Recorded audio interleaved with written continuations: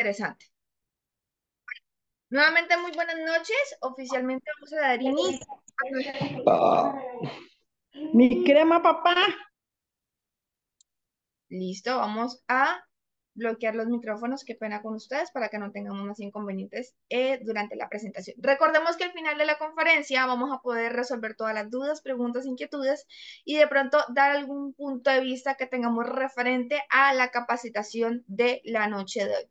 Como les decía, esta capacitación es basada en esta maravillosa Imperial Master. En su momento, cuando grabó el video y entregó la capacitación, creo que fue en una academia de éxito de Corea, y en ese instante ya era Crown Master.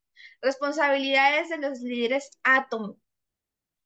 Ella empieza con tres preguntas que yo creo que todos deberíamos cuestionarnos. Son tres preguntas que nos hacen como que sentarnos en el puesto y decir, hombre, ¿realmente estoy haciendo las cosas bien?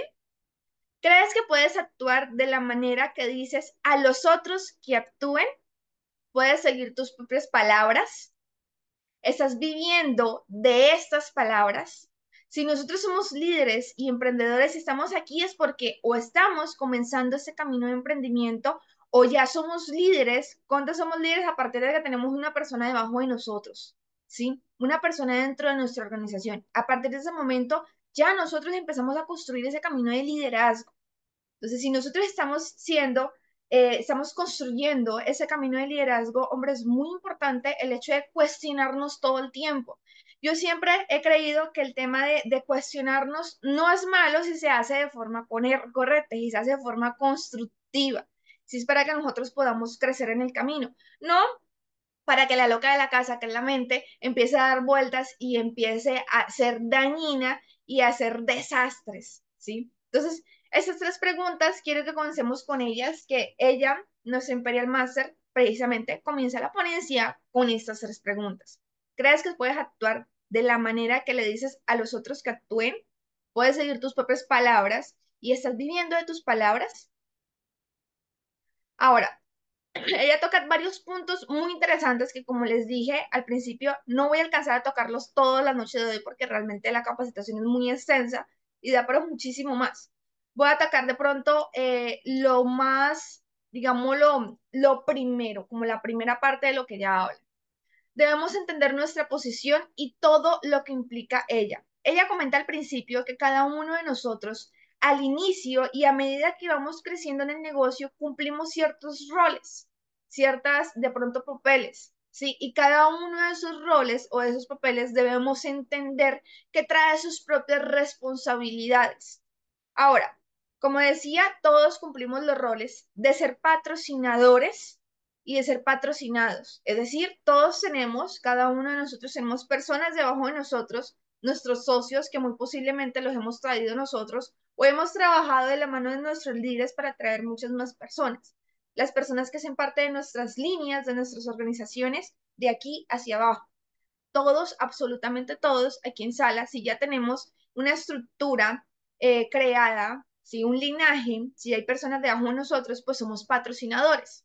Ahora, en algún momento del instante, si también nos encontramos aquí en sala, es porque alguien a lo largo de nuestro camino o en nuestra vida nos habló acerca de esta oportunidad.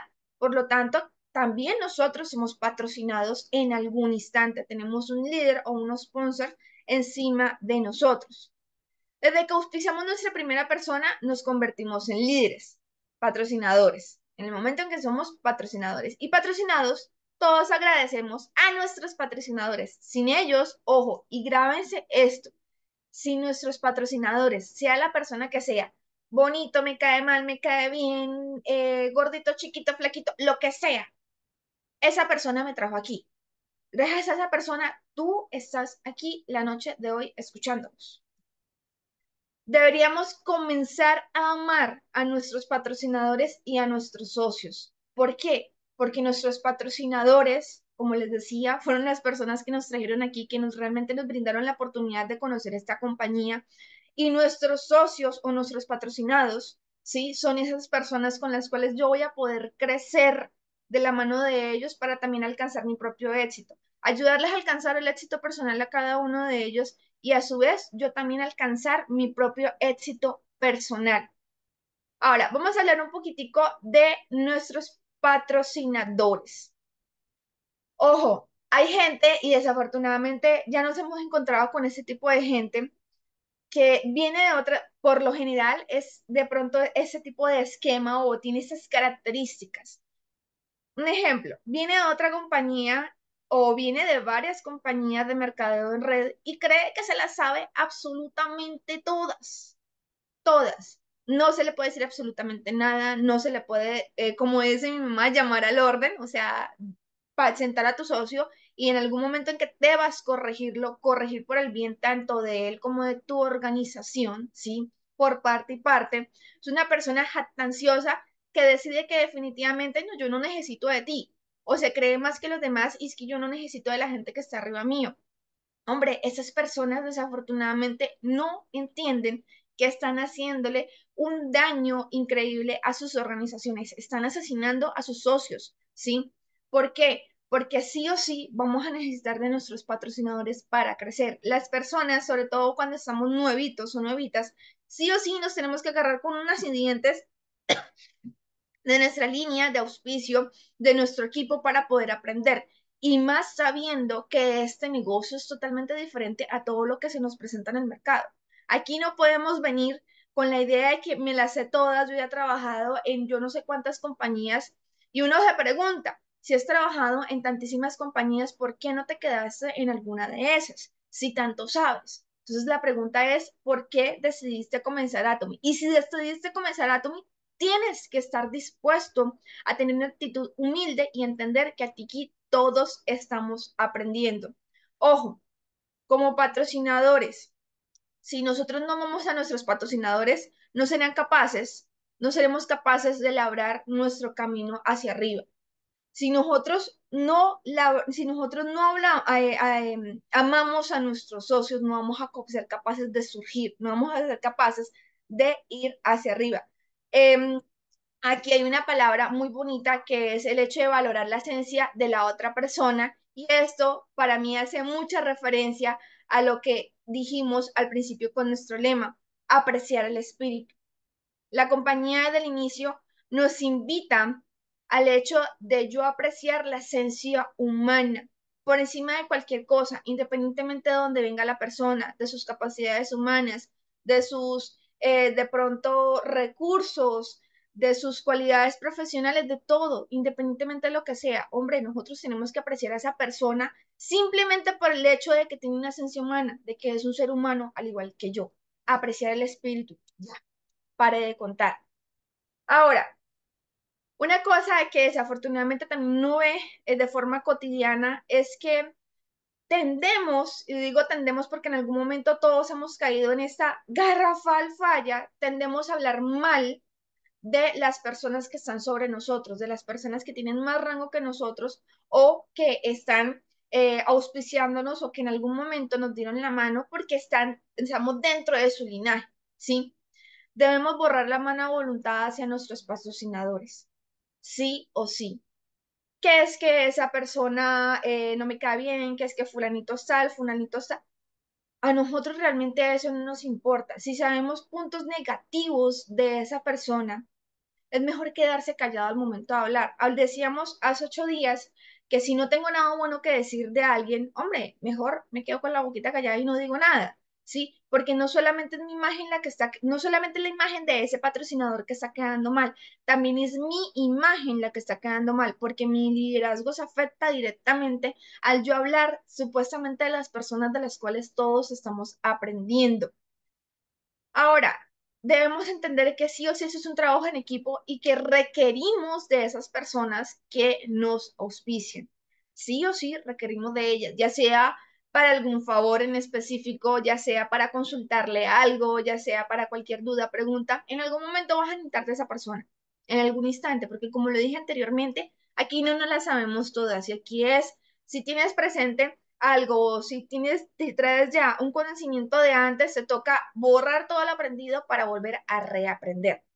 Ahora sí, vamos con el tema de nuestros patrocinados, es decir, nuestros socios, las personas que se encuentran de aquí hacia abajo independientemente si las traje yo o si fue trabajo en colaboración con mis líderes o si la trajo algún líder mío. O de pronto, no sé, que me cayó, también puede ser por derrame.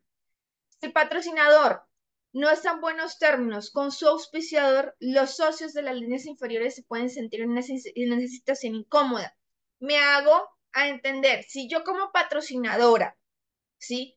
Hablo mal de mi auspiciador, es decir, la persona que está sobre mí, y mis socios se dan cuenta de eso, obviamente mis socios se van a sentir en una situación muy incómoda porque ellos van a decir, hombre, se supone que estamos aprendiendo no solamente de mi patrocinador, sino de cada uno de los líderes que están más arriba, ¿sí? Entonces, ¿yo a quién voy a seguir? Si me hablo con mi patrocinador, el líder de más arriba se va a poner bravo, o si me hablo con, mi, con el líder de más arriba, que tiene más rango, yo quiero también aprender de él, mi patrocinador se va a poner de mal genio, y vamos a entrar en un conflicto de intereses bastante incómodo.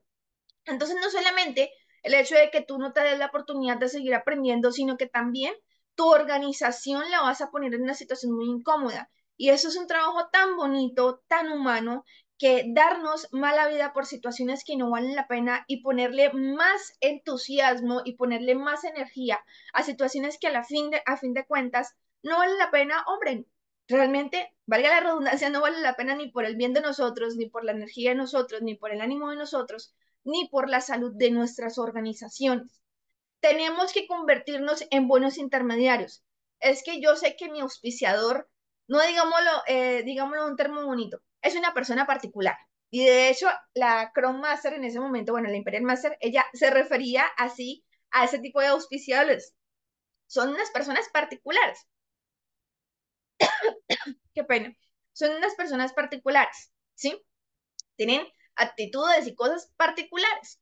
Si yo sé esa particularidad de mi auspiciador, yo no voy a hacer lo que darle mar delante de mis socios para no crear una situación incómoda totalmente innecesaria con ellos, ¿sí? Nosotros tenemos que ser ese puente de intermediario entre nuestros socios y nuestros patrocinadores, porque todos podemos aprender de las personas que estamos arriba, que están arriba, siempre. Podemos ser ese puente de intervención de intermediarios de forma sana para todos poder crecer en conjunto. Debemos crear esa oportunidad. Nosotros como líderes de nuestra organización, estamos en el deber de darle la oportunidad a nuestros socios de conectar con un patrocinador mayor, de tener esa conexión, para que de esa manera todos podamos crecer en conjunto, realmente como un equipo. Otro de los puntos que ya toma, también muy interesantes, es amar, respetar y aceptar a los socios.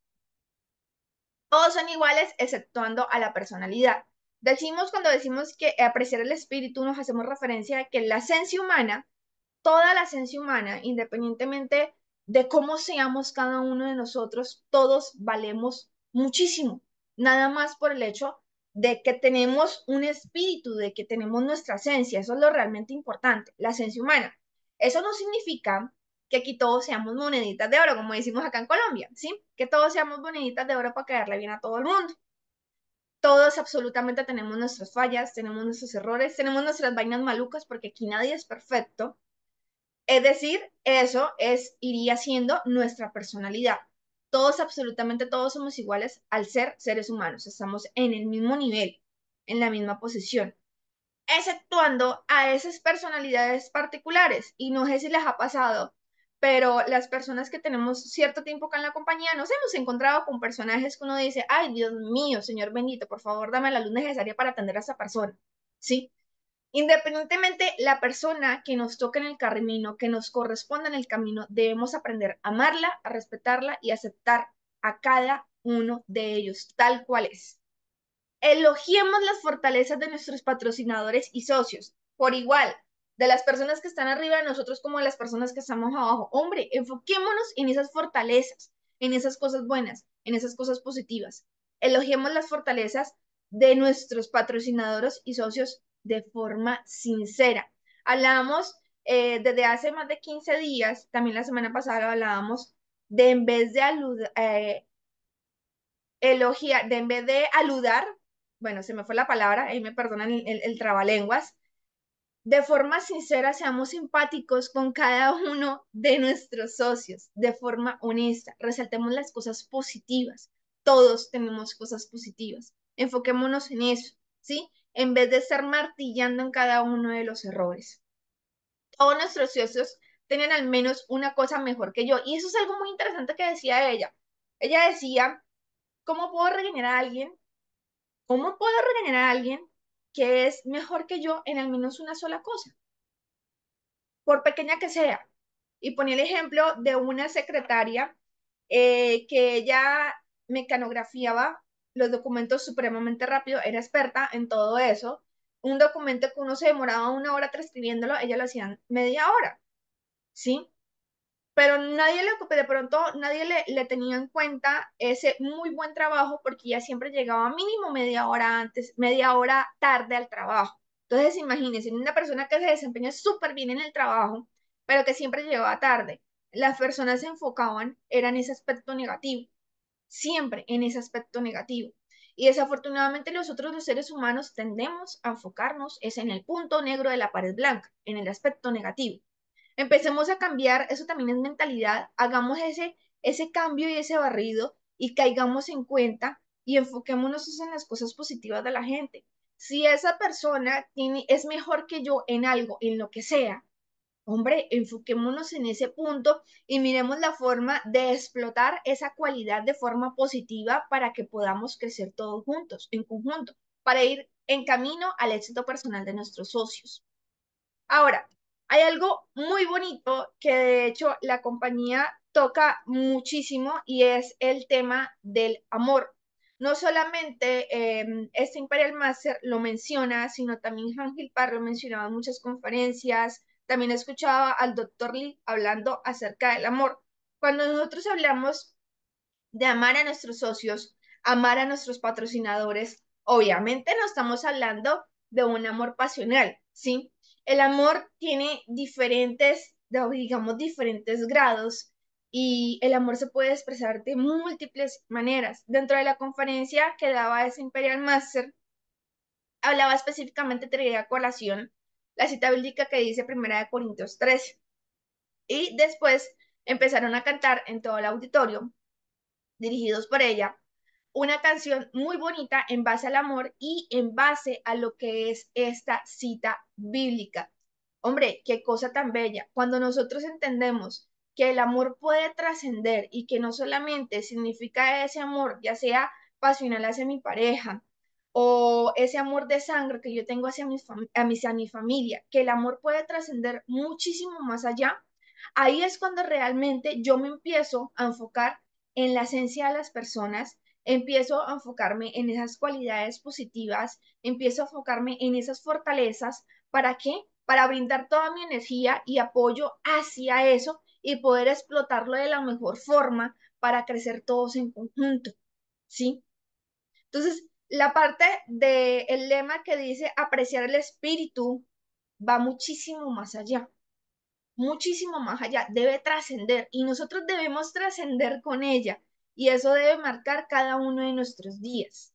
El amor es paciente y bondadoso, no tiene envidia, ni orgullo, ni arrogancia, no es grosero ni egoísta, no se irrita, ni es rencoroso, no se alegra de la injusticia, sino que encuentra su alegría en la verdad todo lo disculpa, todo lo cree, todo lo espera, todo lo soporta. En la cita bíblica, tomando referencia de la Biblia como tal, y eso me pareció muy interesante porque lo podemos traer a colación a esta, reunión, es que esta, este texto de mm, el cantar al amor, no me acuerdo exactamente cómo es que se dice, hace referencia al amor gratuito e incondicional que Dios, eh, que viene de Dios y que se refleja en múltiples y delicados detalles. Ahora, la pregunta es, ¿de qué forma transmitimos o expresamos esos múltiples y delicados detalles hacia nuestros socios? ¿Sí?